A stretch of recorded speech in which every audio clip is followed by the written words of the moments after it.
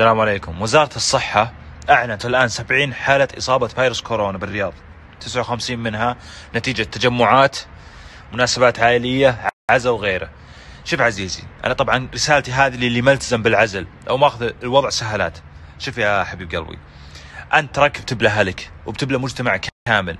أقسم بجلال الله استدرك الوضع. عشان أخليك تستوعب إيطاليا اليوم أعلنت عدد الوفيات 3800 من كورونا. تدري شو له بالمستشفى إلى نظام طب الحروب. تدري وش طب الحروب؟ اذا ها نظامك الصحي الله لا يقوله. الدكتور يصير يختار من ينعش ومن يخلي.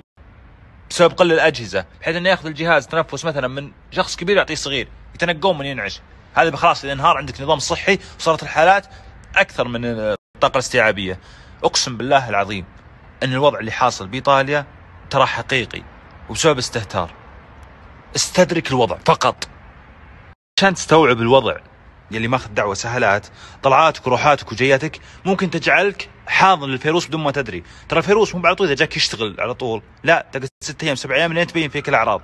لكن لاحظ لو أهلك ملتزمين بالعزل وأنت سببت عليهم إذا جيت البيت وخليتهم أيضا مخالطين لك لو التزموا بالعزل وبانت الأعراض بعيد الشر عنهم خلاص هنا تقدر تسيطر. مثلا وزارة الصحة على الموضوع. إنكم بس العائلة اللي صبتوا ما خلطتوا واحد تم السيطرة خلاص ما في أحد جديد يصاب غيركم. فهمت شلون؟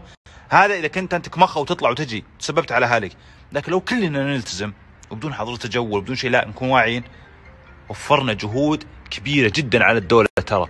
وعلى وزارة الصحة عشان أنفسنا ترى بالنهاية.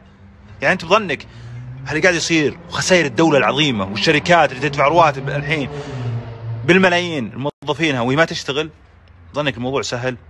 خسائر جبارة ما تصدق.